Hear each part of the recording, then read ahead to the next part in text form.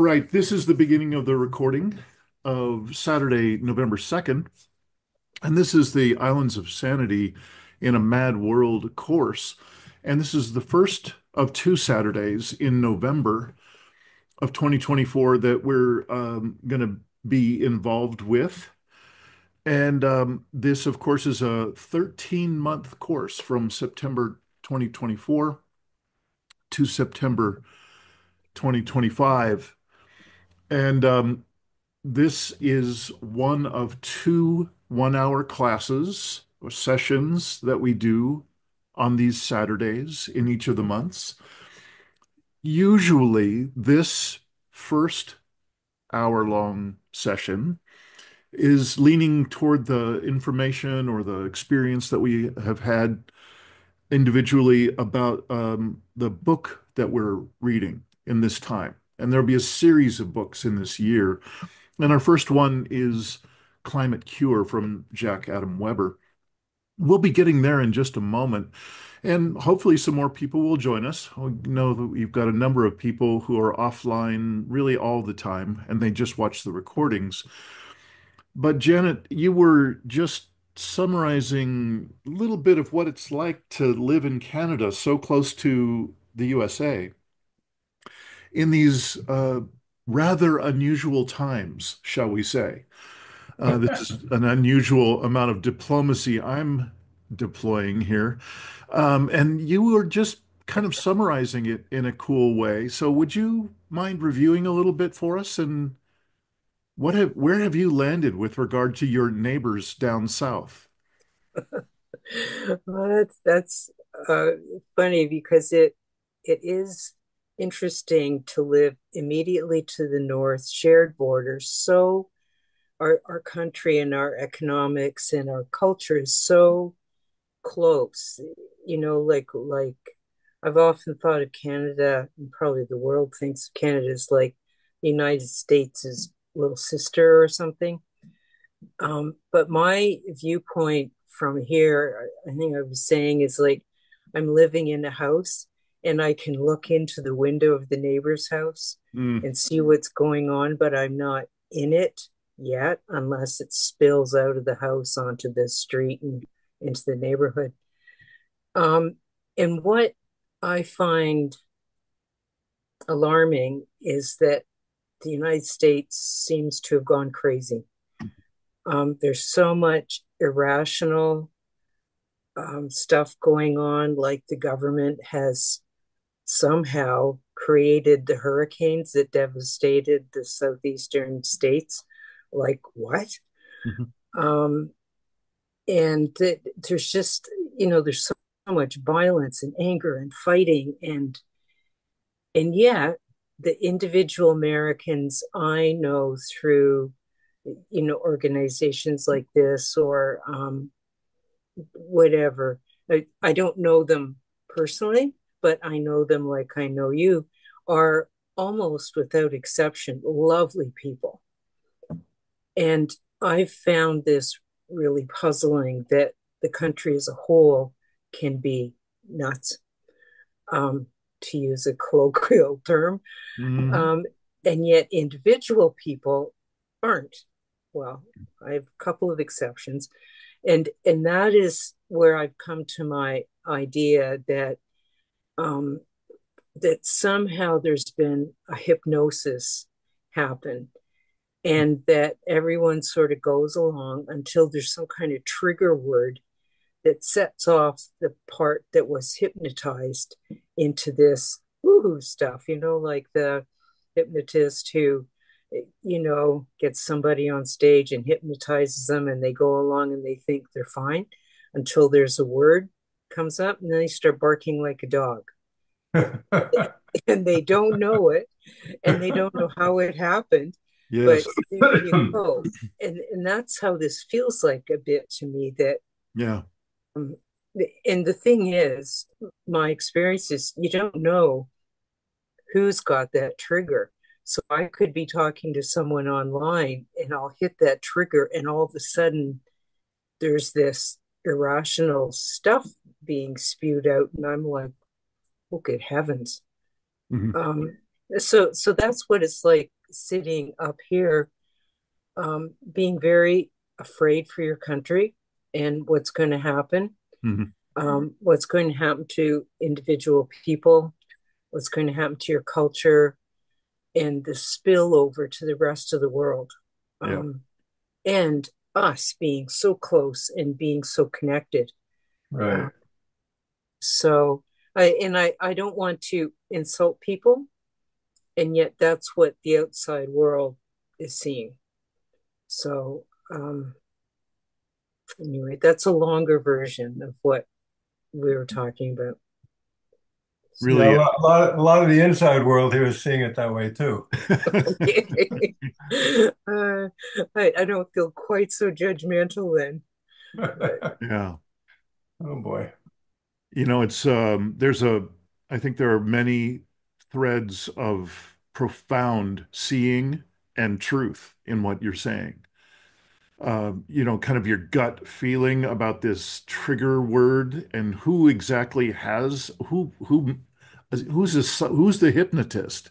And how is it that they're installed? These words are installed and it, this there are a number of threads that I'd love to pursue if we could sit down with a, a long day long cup of tea and you know really really uh hash it out.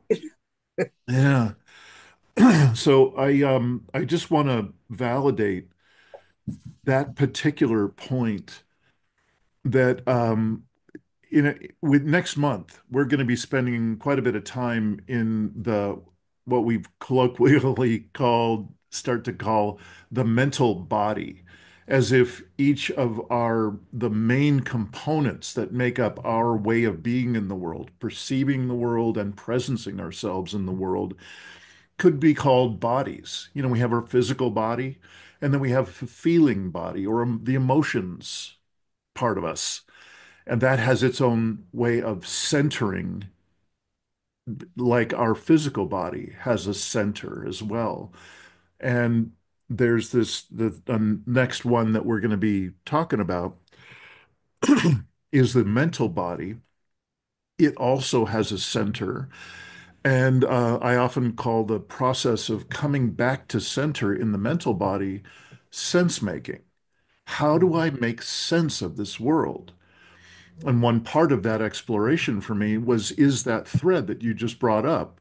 How is it, how is this narrative that we really need to be a culture with any coherence? We need narratives to be able to, to make sense of daily life for ourselves. How does government work? How does culture work? How does politics work? And so on. Each of these things are narrative.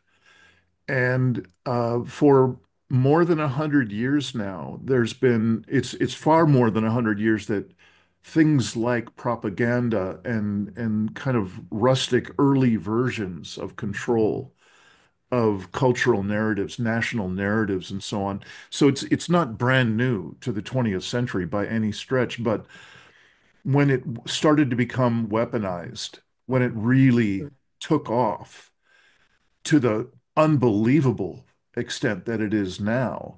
It was already powerful when Edward Bernays and others created public relations, created what it is to market to people so that you can have them consume more and more because that's what this culture is about. And I'm pointing to the land I'm on, the USA, because we more or less birthed it into the world and forced everybody else to have that same narrative. And um, it's very much my impression and has been throughout my whole life, actually, that there this control of the narrative is what is taking us down. You know, as and I'm sure that um, uh, Iain McGilchrist, uh, a research psychiatrist who's incredibly prolific, massive books that he puts out. He has really, yeah, right, multiple volumes that big. Yeah, yeah. Um, he has articulated the individual version of the hemispheres of the brain and how they want to be in a different relationship with one another. They're both very important. They both have jobs to do and they do them quite well. But we evidently have the wrong hemisphere of our brain running the show. It's the one that looks like our global extractionist, self-terminating culture and all the features thereof. And the other one that is supposed to be running the show is the one that is able to see the context of things, Mm. the relatedness of things, the subtleties of the nuance of things. The other side, the left hemisphere in this case, is what has, creates competition, zero sum competition, uh, a highly narrowed and intense focus instead of that broader focus that, and contextual focus and relational focus of the right hemisphere. So um, we'll be exploring those pieces when we get to be talking about that mental body, that sense-making apparatus that for most of us is scrambled. It's it's just completely ripped apart. Mhm. And that's the craziness. I I absolutely would would have used the same words that you had just used to describe the USA. We're insane. And that's literally the foundation upon which Islands of Sanity in a Mad World was created with an opening question of is is the world insane? And because I happen to live here, I can ask this next question, is the USA insane? And of course, it's it's self-evident, but at least it gets the conversation going. Mhm. So I really want to thank you for your looking, your seeing, uh, your sharing, and and please keep it up. I, I think what I'd like to do is is give all three of us a chance to very briefly check in. And uh, I'd like us to just add a little piece of what we did last month, which is just a start of the exploration of the feeling body. And we shared with one another a little bit about what our inner scanning yielded in, terms of is there a, a particular core feeling that's been present for us in this, say, say, since we saw each other last, like a couple of weeks ago, and one that you could just tell us a bit about. And uh, even though sometimes it can feel a little stiff or awkward, I would like to ask us to share what percentage of this feeling that you've noticed that you'd like to share with us a little bit about, that you've experienced in these past couple of weeks, what percentage of your capacity was showing up when whatever it is you're going to share with us, when you, you know, when when that was occurring, and you're looking back and mm-hmm. remembering that moment or those moments, how much of your capacity of anger or fear or sadness or joy, how much of your capacity was taken up by that moment? Why is it, is it, a, you know, it's got to be a considerable amount because it's important enough for you to share, right? So I'm uh, hopefully not over talking it. Let me uh, just give you a very brief check-in. I'll happy to model a brief check-in with a little bit of flavor from the feeling body in my past couple of weeks. Mm. All right. And of course, I'm Dean from Southern Oregon. And um, all right, brief check-in. Um, I I've actually been doing very, very well. I know that there's been some joy. There's been some uh, some fear, sm smaller amount of fear, um, smaller amount of anger, and um, and a larger amount. The the um, particular core feeling I'd like to speak just a little bit more about, share a little bit more about, is sadness or grief. And I've I've started to touch into what is a backlog of grief that I, I know that I've mentioned in prior sessions with us. That there's only so much that I can titrate. And I don't know if you'll recall um, Jack Adam Weber in his book Climate Cure, which this is supposed to be a focus on this hour. Uh, Jack does a beautiful job of of really making it clear that we we need to just bite off as much as we have capacity for to process because these core feelings can be overwhelming given these times. The waves that come through my system and come out of my system are just stunningly huge. And I know that I can't handle any one of them fully. I need to be adept at sh consciously shelving it for the moment. This isn't overriding it. This isn't like denying it. This isn't suppressing it forever. This is just finding a space where I can have some people to sit in circle with and and they can hold space for me. So I got that. And uh, about that sadness. And the sadness is is about a number of things that are going on on the planet that seem to have no resolution. In fact, they seem to be accelerating and intensifying, all to the detriment of all Earth systems and the vast majority of human systems. And the ones that are easy to point out and talk about are the uh, Palestinian Israeli conflict, which is just to me right on the edge of a world war kind of level. That's staggering enough. That that's more of a fear reaction that I have with that, and I did not spend much time with that possibility. What I spent my um, my uh, circle time feeling was the uh, extraordinary grief of that I, I believe that I'm watching on YouTube and TikTok the decimation of a culture, uh, a genocide. I've never seen that so vividly. And it is, um, I'm just slowing down intentionally right now. I'm dropping into more of a direct experience of my own body and my own feeling right now, just for a moment with you. So I want you to know that that's been active for me. And I would say that I've been about um, 80% of my capacity to grieve at any one time in those circles that I've been in since I've seen you last. And again, just just slowing down my speaking and my breathing right now. I'm feeling the tears.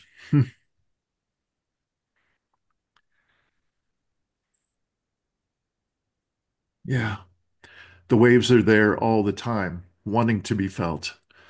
And so even with this brief moment, uh, they they want to come out. so thank you for holding space. I appreciate it. And that's me checking in since we've seen each other last with a brief emphasis on one one core feeling that I had uh, present for me. Uh, would either of you like to go next? Share what's so for you? Sure. Yeah. Thank you. Well, I'm Richard from uh, Central Texas. At least that's where I live right now. I don't really feel like very at home in this state, but uh, here I am. Um, yeah, I mean, uh, last two weeks have been, it's just so bizarre living in this country right now. I mean, it's not even the state. I mean, the state is crazy enough, but the country as a whole is so crazy, like you were saying. Um, on a feeling level, I I've I really feel intensely worried. I mean, I don't know if that's actually a feeling. Um, worry is kind of a mental state, but uh, Yeah, feelings that go with it. I mean, there's feelings that go with it of fear, anxiety, beautiful. sadness. You know, Yes. I mean, all those things, fear, anxiety, sadness are really intense right now for me. And um, you know, when you were talking about what were what was going on in our feeling body, I had this image of um, I feel like this whole country, I mean, and me with it, it's like we're teetering on the edge of this cliff. And we might we might fall off and we might recover and you know get back to our standing position on the edge of the cliff or something. But in the meantime, we don't know what's happening. We don't know if we're falling or staying put or what's going to happen. And you know, so it feels very, very scary actually. Um, so um, Would, uh, Richard, would you would you mind um, offering us a, a sense of what what amount of your capacity for that yeah, fear or that anxiety or other right. that you had? Could you tell us about how how much of your capacity felt like it was Yeah, I was just I was just going to go there actually. Oh, sorry. Um, that's okay. Um, so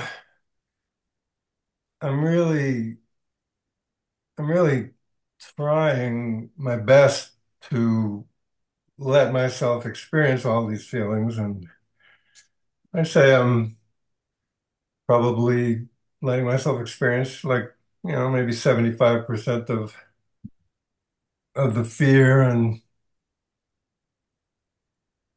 definitely feeling the anxiety and I mean even to the point of and I'll just say this openly I, I have some weapons some guns that I bought many many years ago and I haven't paid any attention to them for years and I started cleaning them and getting ready to learn how to use them again because I totally forgot Mm, I hate that. I hate that I'm in this position. I don't want to do that. And yet at the same time, my partner's disabled. She can't defend herself. If anybody defends us, it's going to be me. If it comes down to violent confrontations with idiots with uh, AR-15s or whatever weapons they have. So, you know, I'm getting ready to defend us if, if necessary. And I, I hate that, but I'm, I'm still doing it. So, uh, you know, I don't like that at all. Um, But yeah, that so you know, I'm letting myself feel all this and start to respond yeah. with a rational kind of response of like, you know, having more food in the house or having, you know, bottling up some water, you know, having some water stores available. I don't expect society to just fall apart, but the way things are going in this country, it's actually a possibility. I mean, it's a possibility that things could get really violent really fast and things could fall apart. I mean, we don't know that they won't. So Yeah. I hate that, but that's where we are. Yeah. Um, that's it. So yeah, it's it's a very tough time, and you know I'm dreading this damn election, and Yeah. I I don't see a good outcome no matter what happens. I mean, I think people are going to go nuts no matter what happens, basically. So mhm. I'm not um, not real optimistic about it in the short term. I mean, meaning the next few months. You know, Yes. yeah. If if Richard, I So can thank you. I, I sure appreciate it. That's uh, a I can clear, just in there for a sec. Um, hmm? Richard, you weren't alone in in being a normal, kind, caring person who's feeling like they need to acquire weapons in case something in their neighborhood becomes that dangerous. yeah, And, and that was one of the things that really told me in the summer how anxious people are that nice people feel like they need a gun in their house just in case.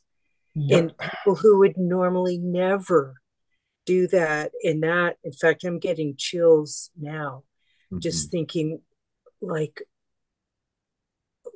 you know like it could be that you feel like it's too dangerous to go to the store to get food not necessarily that there's a war in the streets but you get and anyway yeah. so i just wanted to validate that for you that you're not alone in i'm sure i'm not. feeling, feeling that threatened. And it's possible a lot of people don't want to talk about it because yeah. you also don't want to advertise to your neighbors who's right. stocking on food and who's got a weapon and like because that just heightens the anxiety.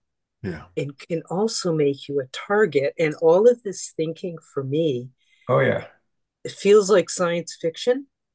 Yeah. Uh, any rate so that that's enough but i yeah. uh, my heart goes out to both of you. Um yeah. yeah. So jenna would you mind just continuing on into your own check-in and sharing about a core feeling you've been wrestling with? Um my biggest thing is grief mm-hmm. um and just grief for so much uh, destruction, uh, destruction of living systems, of biodiversity, of animals, of the oceans, of people, cultures. What's going on in the Middle East absolutely is a deliberate attempt to wipe a culture off the face of the earth. And the and I mean that's happened over the centuries. But what totally raises the hair on the back of my neck is that it's the Jewish people who were there was an attempt to genocide them mm-hmm.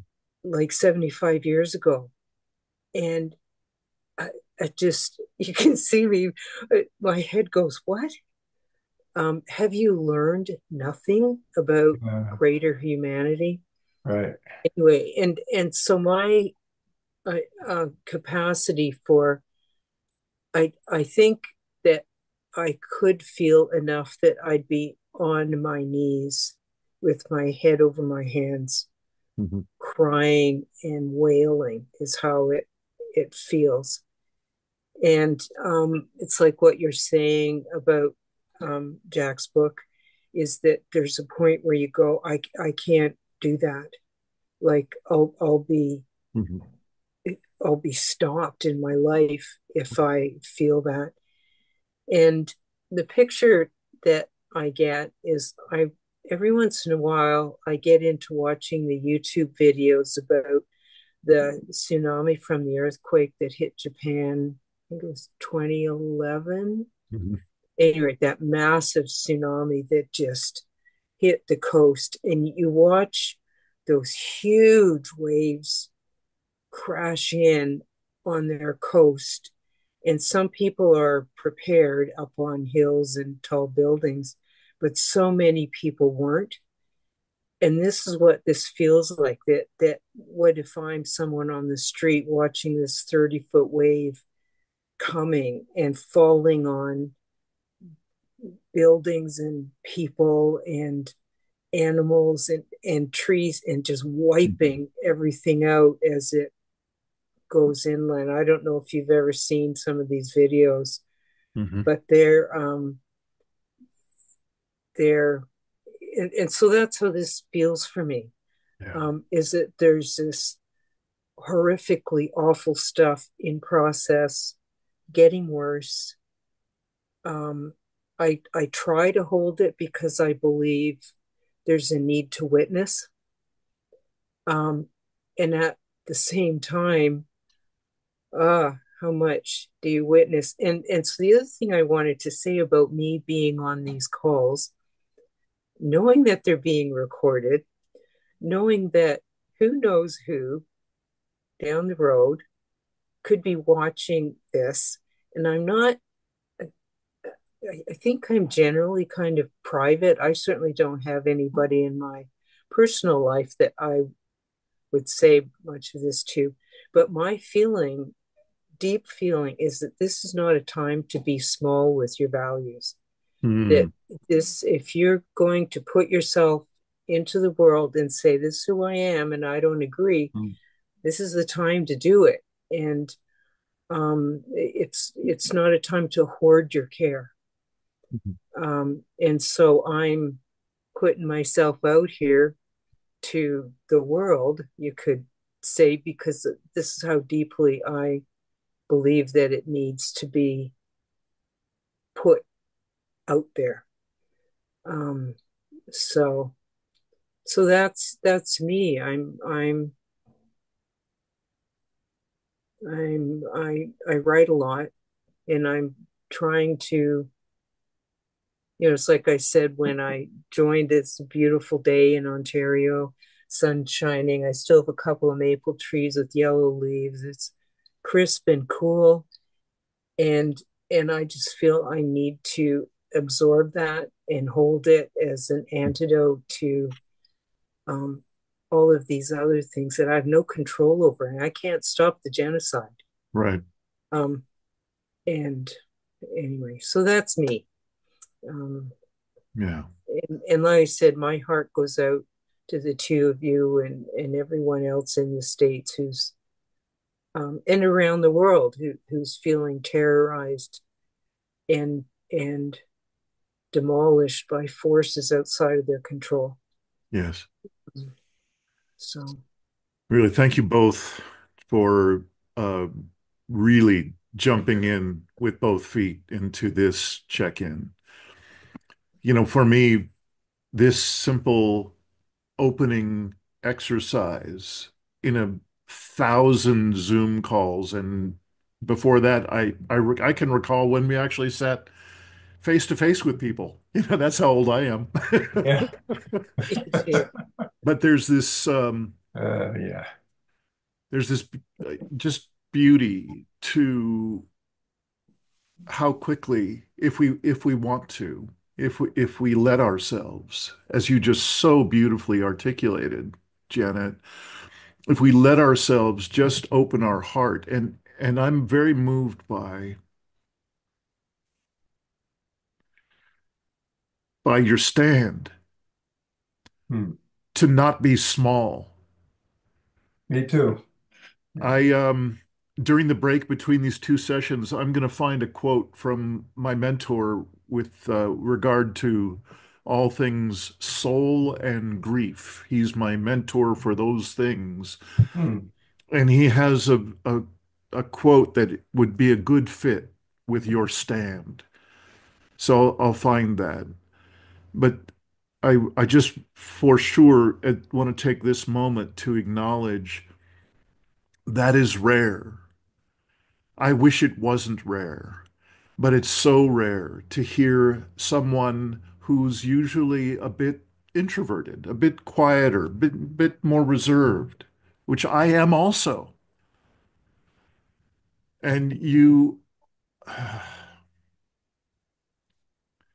you are taking an extraordinary human stand to have a large expression, a large presence, because that's what's called for now. That's what's calling you out now mm-hmm. from your, in your world, in your experience. And it is so deeply inspiring to hear you say those words. And so thank you. Yeah, it is. I don't know that the, there's anything else we can do that is more essential and more important in the human sphere than to take the stand that is alive for each of us, whatever that is. Mine will be different than yours. Mm-hmm. So bless your heart and thank you very much. Well, th- and thank you for creating a space to do that because mm-hmm. um, I, I know that in my personal life, the people I know, if I get anywhere close to this, they will literally turn their heads away. They do not want to touch the level of fear and anxiety that I think they know is there. And that kind of left leaves me going, what do I do with it other than even in my private space, try to move with um, a, that level of compassion. Um, even if I'm by myself walking my dog, to try and have that around me as a is a state of being. And i don't know how else to explain it and i don't do it very well all the time. Um, but it does feel like it's in a lot of circumstances the only thing i can do right. and and hope that that energy touches something somewhere yes richard it seems like you wanted to to jump in and and I want you to do that, but I, I'm just going to take a, a one little extra moment to ride this wave a little further with you, Janet. Oh yeah. Uh, this this space and your stand that we're talking about here, this is such a uh, for me an immense cornerstone of what this work is about. Certainly in my experience, and evidently in yours and I wanted to just speak to not only us here on the screen, but anyone who does this work, this particular course, and so on, is watching this a year from now or next week or whatever. This is the space that I was pointing to back in September in the very first session and the first course material. There was this kind of odd piece that I was asking people to check out which is about creating our own story. Hmm. That there's an expression that is available to us and seems like a natural occurrence for many people is to relate to this this story of someone finding a way to engage with something larger than themselves that uh, sometimes is called a hero's journey it sometimes is just the kind of story that inspires us. It's and most often these days that's in film. And that's what that piece of course material was was a guy who's an expert at doing exactly that. He co collates, he curates uh, elements from different films to make something more vivid for us rather than some sort of abstract conversation. Because we can relate to the movies we've seen, we know how they make us feel. And so he invites us to, to pick and choose and create our own story. And to me, that's what makes the hero's journey the hero's journey is what that person has stood up and said, I stand for this. I'm getting goosebumps just saying that. Mm-hmm. So thank you uh, for letting me just add that little piece. And if anybody who's watching or any of you two have not watched that piece back in September's course materials about the hero's journey and creating our own story, I think it would be a fabulous addition. So, a suggestion. Thank you again. And Richard, I'm curious if you had anything that you would like to add to the conversation after Janet has spoken so vividly. It seemed like you got kind of uh, engaged in there for a while, so I just wondered. Oh yeah. Uh, well, I really, you know, felt it you know, very strongly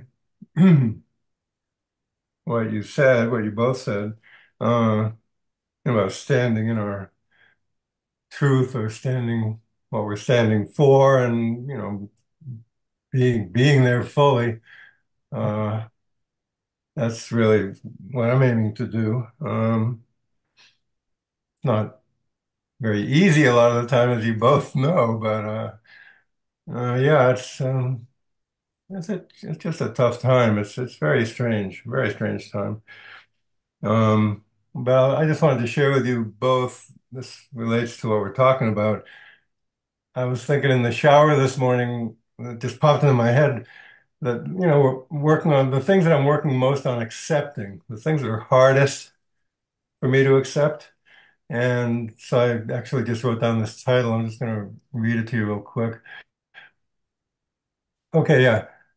The hardest things to accept are usually the most painful. So, um, anyway,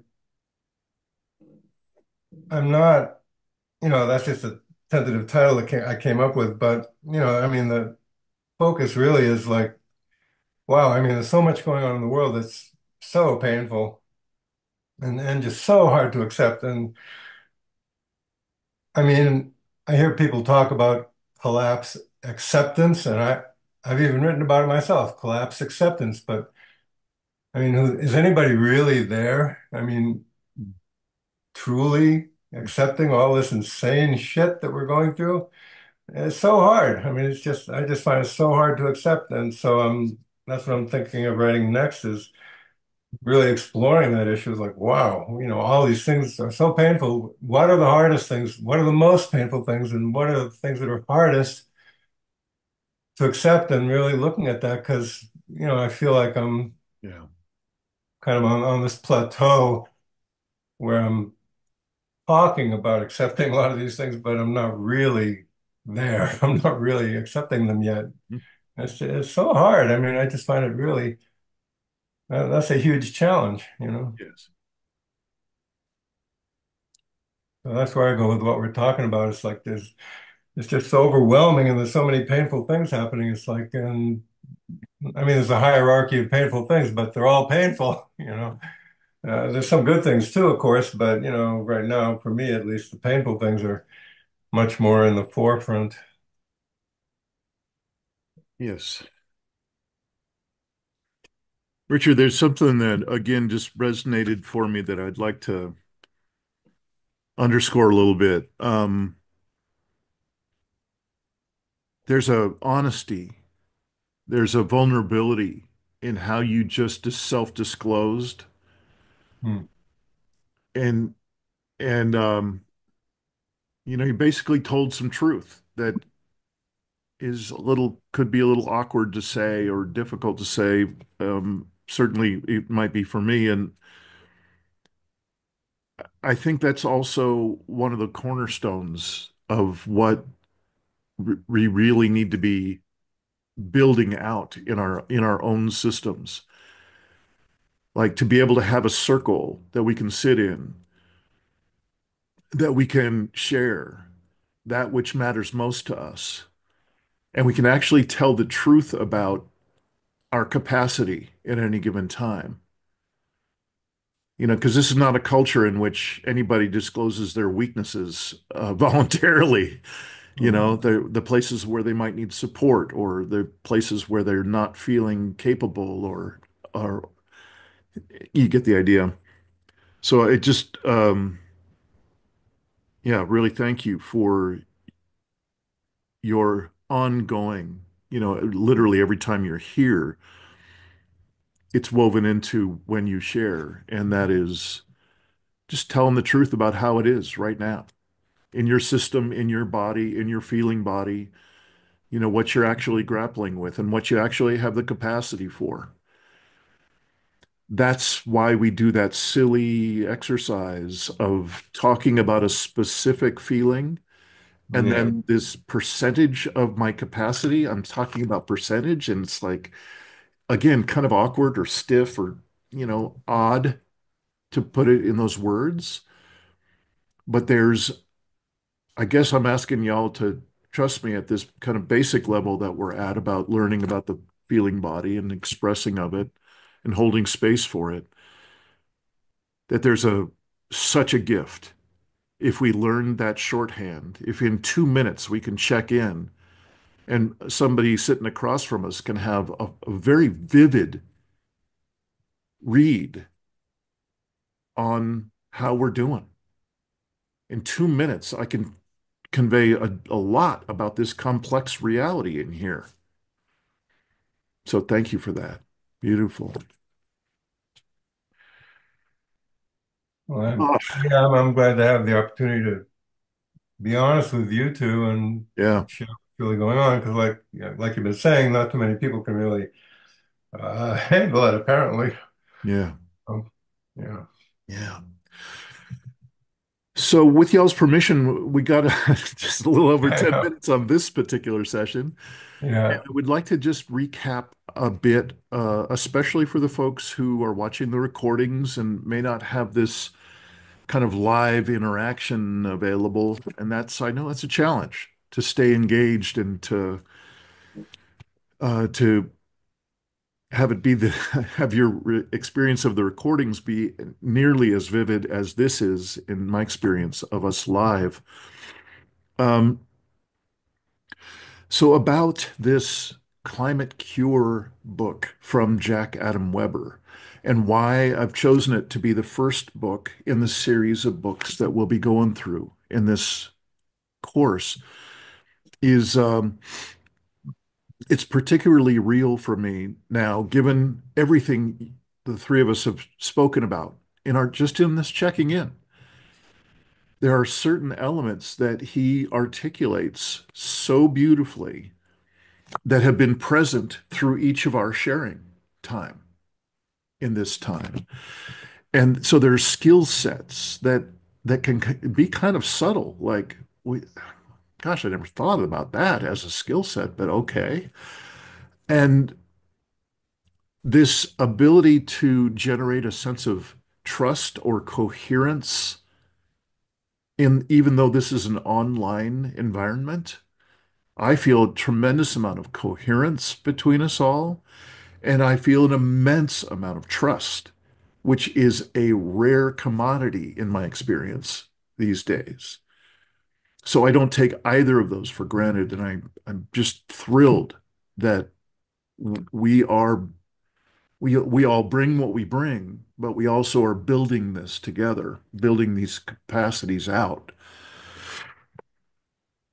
Um, there are a couple of other emphases that I'd like to just remind folks who are watching this recording and ourselves that um,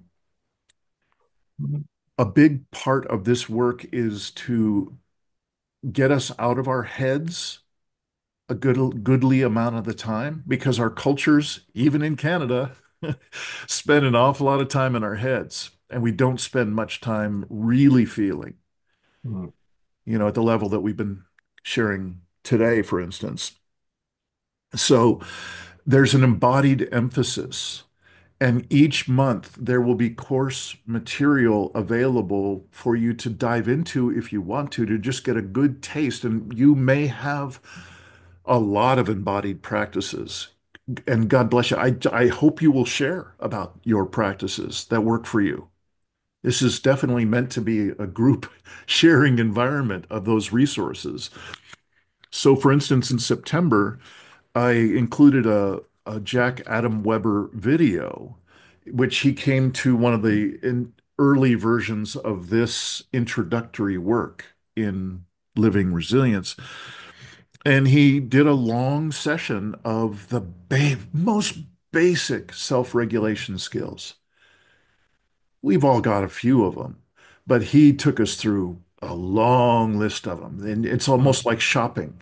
You can, you know, it's not expected that you would do a 90 minute self-regulation practice every day. You know, you'll you'll shop for the ones that work for you. And they're easy enough to remember or jot down notes about and keep a Mm. flow going and so on. So I would invite everyone watching to remember that this uh, embodied focus each month is is there for a reason. Um, I find a small fraction of the difference made by the embodied work. The embodied work is such a huge contribution to our actual experience together. if it's happening in my body and I'm enhancing with each session, I'm enhancing my ability to be present in my body with my feelings and so on. That's the real deal. To just read about it or even to just watch the video, not so much. And to do neither of those and then come and hang out on screen, it's just this tiny fraction of the actual body wisdom that's possible if we actually do some practices. So I'm saying it this way to hopefully entice people, if you don't have an embodied practice, to allow yourself to start to build one out. Build two or three of them out. Vary them during the week. Do the, do this in the way that works for you. But to have a, an ongoing focus on some to some degree on embodied experience of each of these elements. So in the early the There you go. uh, October sessions, you might remember if you've watched that piece, um, the embodied piece from October was uh, Staci Haines, who's a remarkable facilitator uh, with an Aikido-based, um, which um, is a martial art that's quite extraordinary. And uh, she comes from a basis of that, a grounding in that, uh, to do extraordinary facilitation work with people. And that's a more active, and you can actually, you know, follow her in those exercises, and you may want to just watch that, I don't know, five minute piece that she does. Those physical exercises, they are vivid uh, exercises for reclaiming center. So, kind of uh, one step up and more active from the Jack Adam Weber basics. I call them first aid level uh, resilience skills or self-regulation skills. So um, I will be posting uh, another of a, a more embodied and a more active kind of practice for us in uh, this between these two Saturdays. So I invite you to dive in and keep diving into Staci's in particular, um, if you're so inclined. The last thing I'd, I'd mention, because we're going to be, before you know it, we're going to be to the end, you know, next Saturday will be our last time that we're specifically speaking about Jack Adam Weber's book. Oh. And I just, it doesn't mean that you can't keep going back and keep diving into the things that that are really resonate for you. My goodness, there is so much. We literally could just stay with that book all year. Oh yeah. Easy, easy. So I I would ask for you to um, sharpen your skills, even if you've got really good skills at uh, being able to find your way and find the pieces, the exercises, the distinctions in a book as rich and as varied uh, as uh, Jack's, to make a point of finding a couple of exercises each month, maybe from here out, to just do a little bit of that journaling. I know that you both do a lot of writing, and yay, it's great. You know, Right. journaling has been a something I've struggled with, and many people I speak with or work with, it's a hard thing for them. Yeah. It certainly was hard for me until I wrote my one and only book. Yeah. That that kind of cracked me open, and and I I can't not engage that way in in my own processing. Hmm. So, um, in you know, kind of as a wrap up for this session of speaking about Jack Adam Weber's Climate Cure, we're going to be going um, next time. There's a one of the larger final chapters in Jack's book is about our relationship with each other. You know, he he has some lovely focus going on in various chapters, and this is one that is particularly near and dear to my heart. because there's such a fabric of relatedness in my experience of being a human being. And that, so this is where it really lives for me. It's just me. You may have it different. I don't know. One thing I would just like to bring our attention to is the the actual chapters that are appropriate timing wise for for now that we would have perhaps spent a bit uh, more time with today Yeah. is uh, grief. We actually covered a decent part of that neighborhood. That was a really good good start, and we will go deeper with grief as the months tick by. We will. Mm. I would also like to ask you to, uh, if you have the space for it, please take a look at his brief chapter, his brief mention of shadow, shadow work. I believe Yeah. it's chapter seven. It's the one right after grief. It's Yeah. either it's on one side or the other of the grief chapter. Yeah, it's after. It's after. Yeah. and I'm Uh, I've had a, I'm 10 years into this work now, and this has been an evolutionary process of how to offer this introductory work and then get to greater and greater levels of systems awareness and and uh, as Richard was saying, acceptance is is itself a process to get to that as as fully engaged in in acceptance as possible. And I experience us to be living in a world driven by shadow, ruled by shadow, controlled by shadow, infused with shadow. And yet it is perhaps our weakest suit, certainly in the USA. We are so not self-aware at the level of our shadow-driven, self-terminating culture. You know, the stakes could not be higher Yeah. And I think that there are- is a good introduction to shadow and and heightening our own individual self-awareness. So I would like to invite not only the three of us, but anyone watching the recording to spend a little time with Jack Adam Weber's Climate Cure. And I, I think you said it was after, Richard. Is that right? The that the the shadow Yeah, it's it's after the yeah, right after the grief chapter. Yeah. Great. So if if you have the space to do that and um, give yourself an opportunity to do that, I I promise it will be valuable also as a thread we will carry for the rest of the year together. Uh, perhaps we'll have more to speak about that next Saturday, the, the next Saturday that we will be together. Yeah. Two weeks. Yeah. Um, because of course here in the States, we will have had our election and perhaps we'll have a shadow or two to speak about at that time. Yeah. I'm sure we will. Yeah.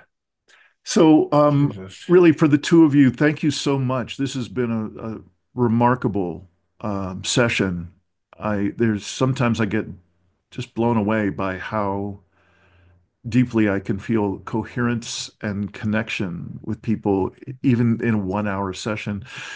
Would would both of you be willing to just say a sentence or two about what you're landing with after this session? Well, I feel I feel that, you know, strong sense of coherence also and appreciation for you too. Um, well, you know, I mean, no matter how many times I talk with my wife about these things or talk with friends about these things, it's always it always feels really good to share on a deep level with other people who are in a similar place and can kind of get what I'm talking about. And so, you know, I feel sort of this paradoxical sense of, you know, happiness and satisfaction at the same time that we're talking about all this really painful stuff, you know. So I guess I'm landing with kind of holding both, you know, the painful stuff and the and the happiness too. Oh, beautiful. Thank you, Richard. it it takes bravery to do that. Um, you know, it's like to step out of the part of you that wants to protect yourself. It, it takes courage and bravery. Um, so kudos to both of you. Um, and you. yeah. Well, and and yes, and like I said, I'm I'm the neighbor in the house next door. Right. Um, so that this particular thing, there'll be a ripple effect for me, but I'm I'm not going to have the boulder landing right yeah. in the middle of my life. So yeah. Um, yeah, mm. there's, there's a sense of uh, ease, some mm-hmm. some tension having been eased because of being able to speak a deeper yeah. truth than I can to other people and to hear your truth truths um, mm-hmm. is also comforting um, yeah. and and validating. So thank you both. Mm-hmm. Yeah. Oh, beautiful. Thank you. And I'm curious, will I be seeing both of you at the bottom of the hour for the second yep. session? Yep. Yep. Fantastic. I look forward to seeing you there and uh, have a lovely break. you too. See you soon. Bye. Bye.